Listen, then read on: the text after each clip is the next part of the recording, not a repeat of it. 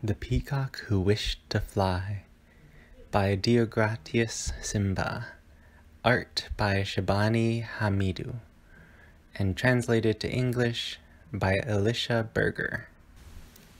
Tausi the peacock was a kind and gentle bird.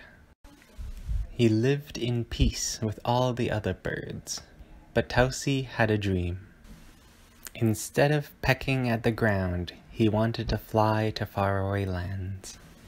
He wished he could see the all the beauty of nature for himself. But Tausi, the peacock couldn't even travel far in search for food. Some naughty birds mocked him. They left him alone whenever they went in search of food. Tausi the peacock thought to himself, If I am a bird, then I should be able to fly.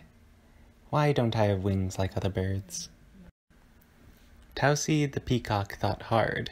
He decided that he would try to collect feathers from other birds. He crept up behind the owl. He plucked a few feathers from her back without being noticed. The feathers were beautiful, long and dark.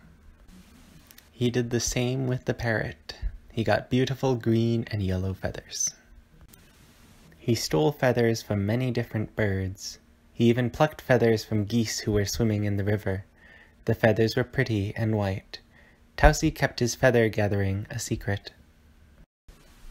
Tausi the peacock even stole feathers from two eagles while they were busy eating. By now he had collected a lot of beautiful feathers. He cleverly wove them together. He carefully fixed the feathers to his tail. When he stretched his tail, the feathers spread out like a fan. It was beautiful. The different colors made him look even more attractive. Now Tausi the peacock was the most attractive bird in the village. None of the other birds had feathers as beautiful as Tausi the peacock. Tausi the peacock was happy.